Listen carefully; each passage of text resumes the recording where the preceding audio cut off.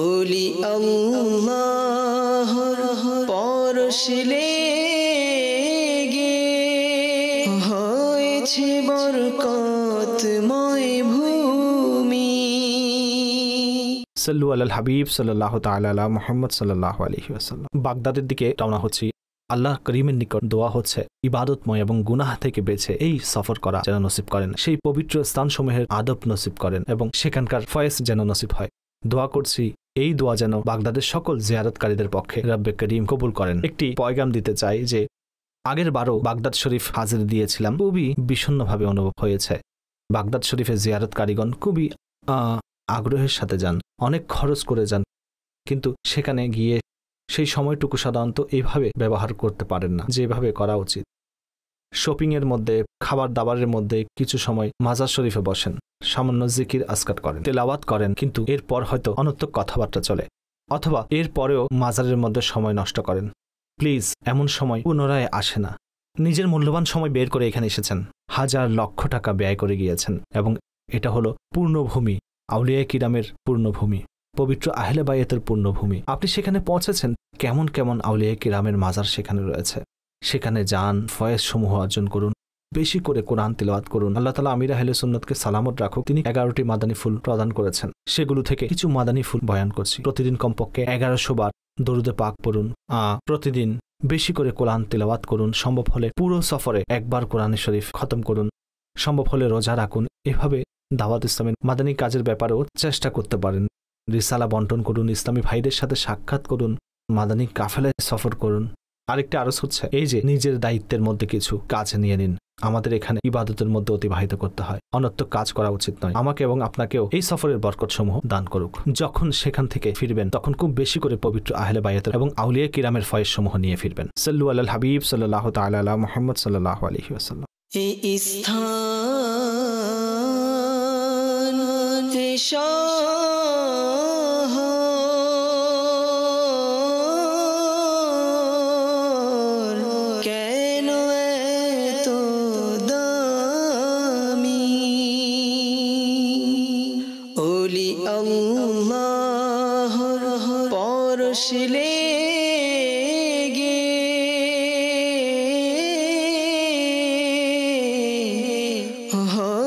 絞る声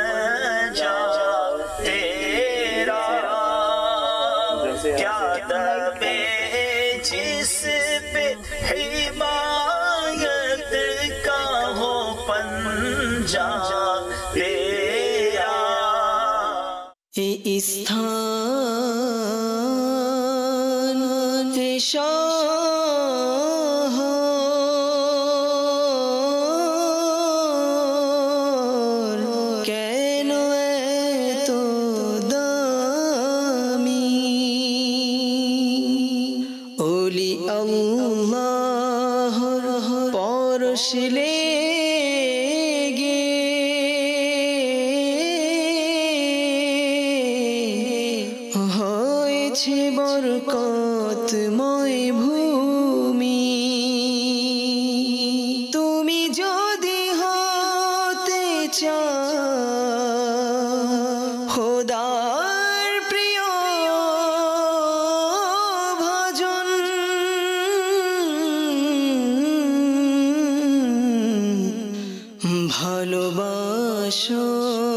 তারে মারি যিনি হয়েছে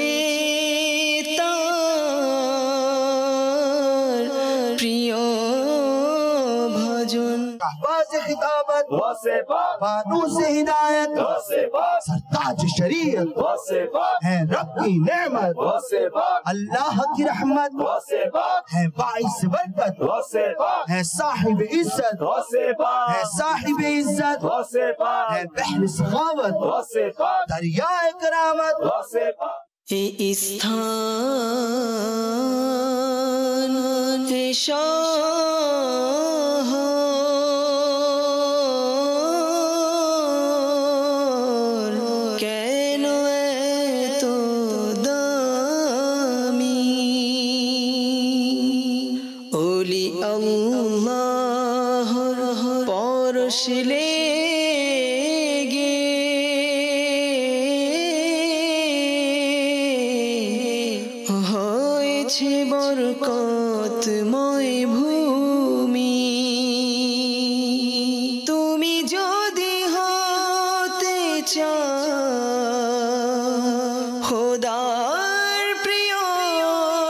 আজ সেই মহান বুজুর্গের কদমে তার দরবারে উপস্থিত হয়েছি, যার কিতাবাদি পড়ে আমরা অনেক কিছু শিখেছি। স্বয়ং আমাদের শেখ তরিকাত আমির আহলে সুন্নত বলেন, আমার উপর ইমাম গাজালির ইহসান রয়েছে, আমার উপর ইমাম গাজালির ফয়েজ সমূহ রয়েছে। ইমাম মোহাম্মদ বিন মোহাম্মদ বিন মোহাম্মদ গাজালি রহমতুল্লাহ তালা আলাইহি প্রায় তিনি পঞ্চান্ন বছর এই পৃথিবীতে হায়াত পেয়েছিলেন।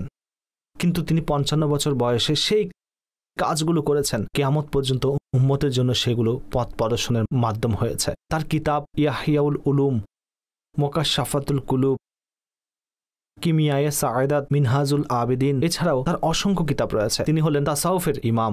অবশ্যই যখনই তার কিতাব পড়ি, সামান্য কিছু পড়ার সুযোগ হয়েছে। তখন অনুভব হয় যে আমাদের দিনের জোরকে, আমাদের ইমাম কীভাবে পাকড়াও করেছেন? এভাবে পথ প্রদর্শন করেন যে আমরা কোথায় কোথায় ভুল করি। সত্যি এখানে এসে আরও লজ্জা অনুভব হচ্ছে। ইনি তার কিতাবের মধ্যে আমাদেরকে বুঝিয়েছেন, এই সকল বিষয় হতে নিজেকে বাঁচান। লৌকিকতা কাকে বলে? স্বার্থপরতা কাকে বলে? কৃপণতা কাকে বলে? অন্তরের রোগগুলো কি? অন্তরের ময়লা কি? আমি চাই আমরা পাপীরা তার পায়ের কাছে এসেছি। হে আল্লাহ, তারই মাজারের বরকতে আমাদের অন্তরের এই ময়লাগুলোকে পবিত্র করে দাও। আমাদেরকে লৌকিকতা, গুনাহপূর্ণ লোক দেখানো এবং স্বার্থপরতা থেকে আমাদেরকে মুক্তি দান করো এবং ইমাম গাজালির ফয়েজ সমূহ আমাদেরকে নসিব করো। এই স্থান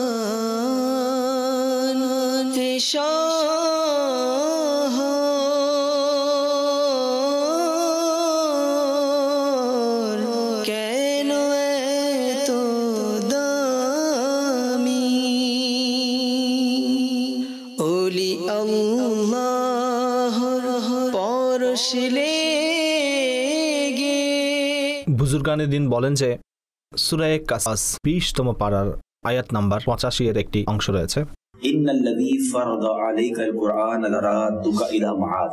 এই আয়াতটি যদি লিখে দেন তাহলে সেখানে দ্বিতীয়বার আসার সৌভাগ্য নসিব হয়। ইমাম গাজ্জালির সাথে সত্যি আন্তরিক ভালোবাসা রয়েছে। আল্লাহ পাকের নিকট দোয়া হলো যে, বারংবার ওনার দরবারে হাজিরি নসিব হোক। এই জন্য আমরা এই আয়াত এখানে লিখেছি। এখন স্ক্রিনেও সেটা দেখতে পাবেন। নোট করে নিন ইনশাল্লাহ যে স্থানে দ্বিতীয়বার আসার ইচ্ছা রাখবেন, সেখানে নিজ হাতে লিখে দিন। কোনো কলম ইত্যাদি দ্বারা লেখার প্রয়োজন নেই ইনশাল্লাহ পুনরায় হাজিরি নসিব হবে। স্থান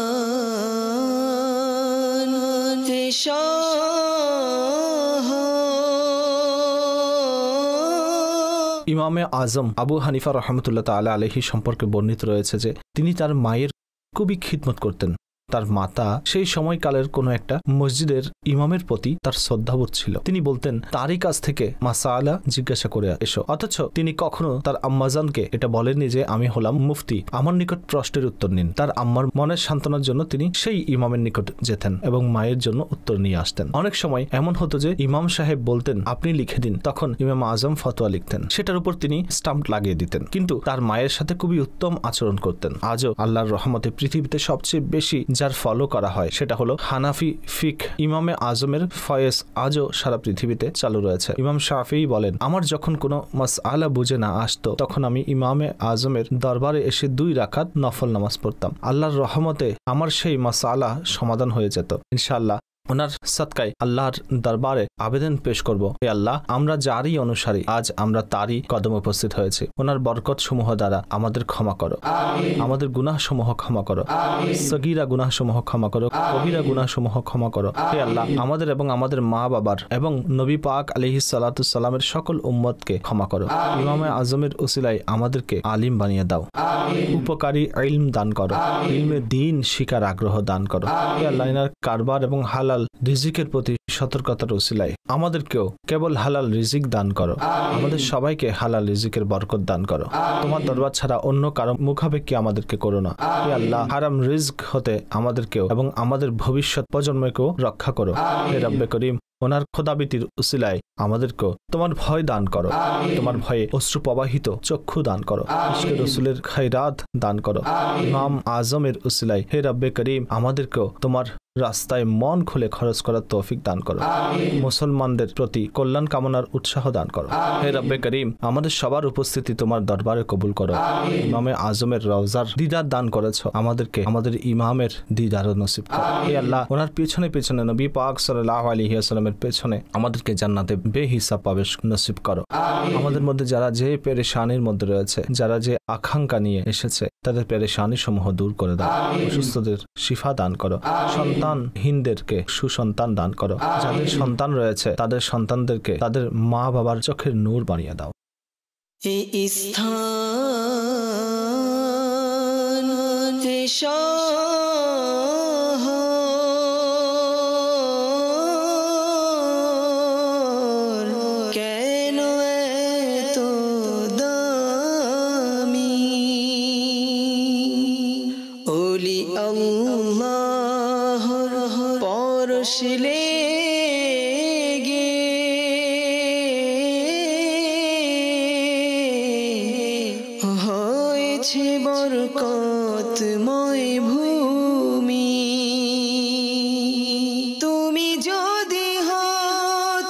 就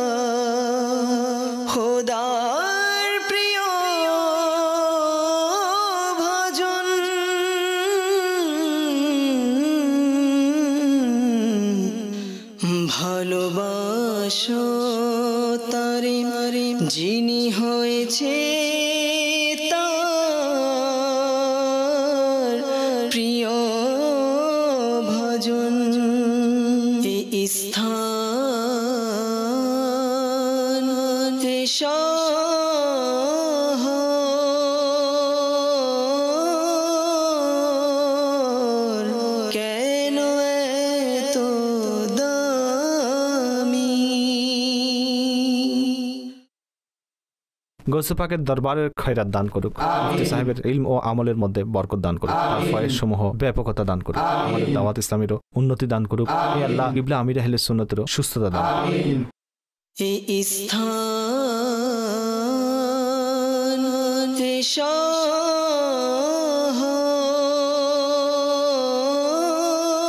مرحبا بكم في حضرات الاولياء والصالحين الله ينفعنا بهم وبحضره سيدنا الشيخ الياس العطاري شيخ الياس العطار سلمنا ان شاء الله نعم سيدي. هذا تحفه مع خط الشيخ الياس الله يرضى عنا جزاكم الله تفضل يا ابني تفضلوا تفضلوا تفضلوا حبيبي حياكم الله আল্লাহ তাআলার দান এই দাওয়াত ইসলামী প্রিয় নবীর অনুদান এই দাওয়াত ইসলামী يا سيدي نرجو القبول.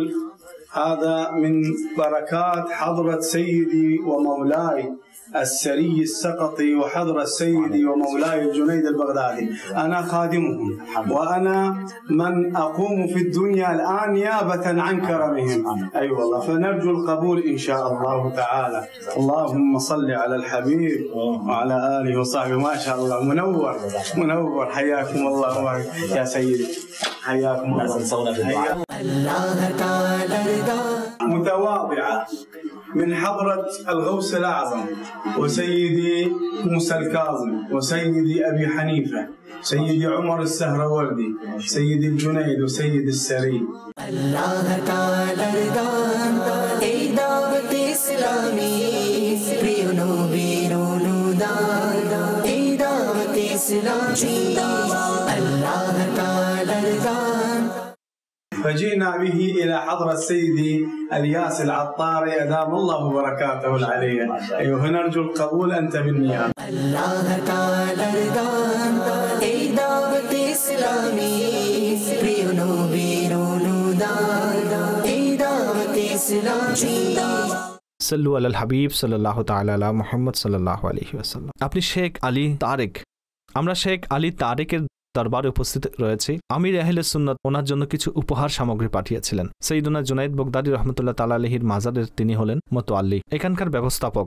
তিনি যখন করাচি এসেছিলেন, তখন আমির আহলে সুন্নতের সাথে সাক্ষাৎ হয়েছিল। আজ আমরা আমির আহলে সুন্নতের সালাম তার দরবারে পৌঁছিয়েছি। তিনি আমির আহলে সুন্নতের জন্য অত্যন্ত সুন্দর একটা জুব্বা পেশ করেছেন। আমির আহলে সুন্নতের জন্য কোনো বার্তা দিতে চাচ্ছেন। আল্লাহ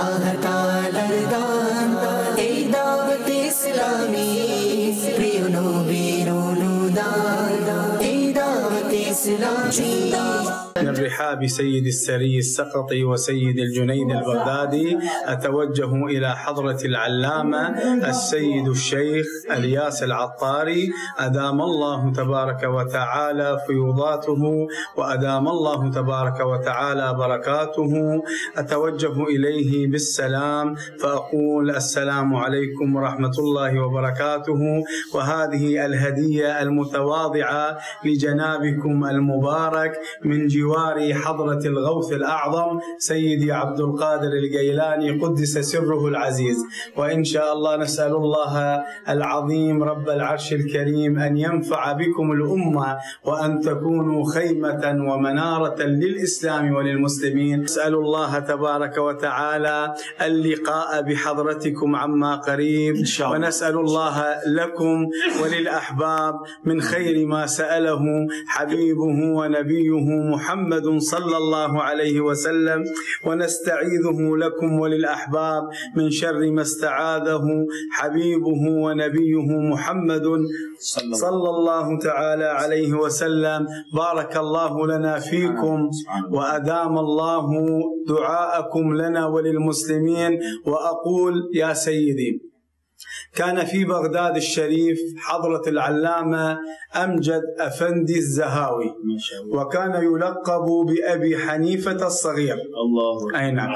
فقالوا عنه لو ضاع علم الإمام علم الإمام أبي حنيفة وتشتت لأعاده أمجد لأنه كان يحفظه على صدره.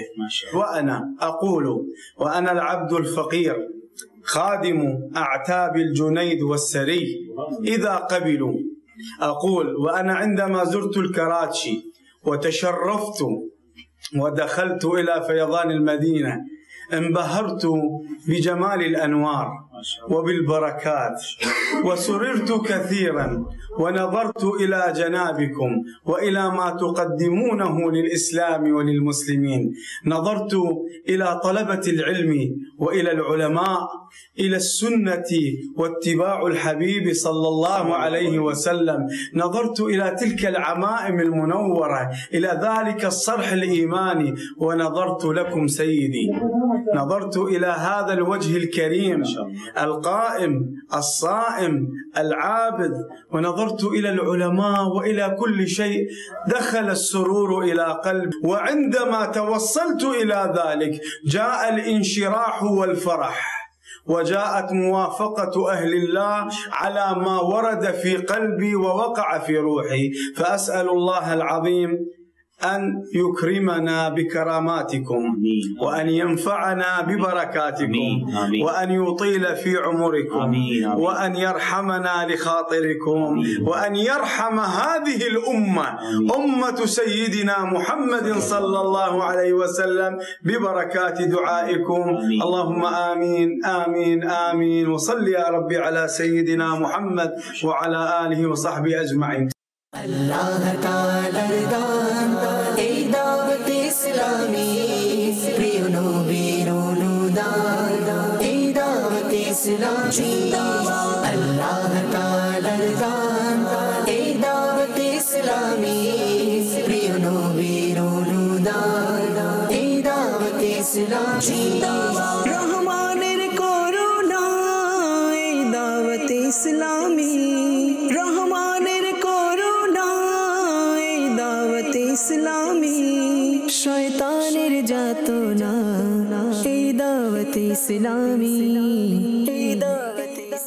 زندہ باد اللہ کا لڑدان اے دعوت اسلامی پریونو ویرونو دان اے دعوت اسلامی، زندہ باد اللہ کا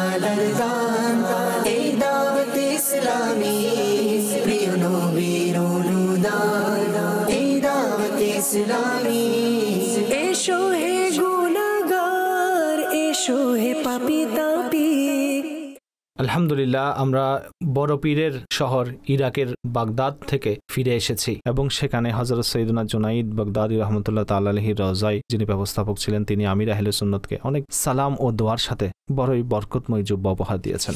তাই আমরা আশা করি ওনার অন্তর খুশি হোক এবং এখানে উপস্থিত ইসলামী ভাইদেরও অন্তর খুশি হোক। এখন আমির আহলে সুন্নত এটি পরিধান করবেন। আল্লাহ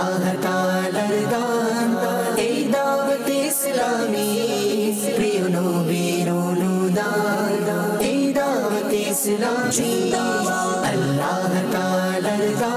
Allah, Allah, Allah,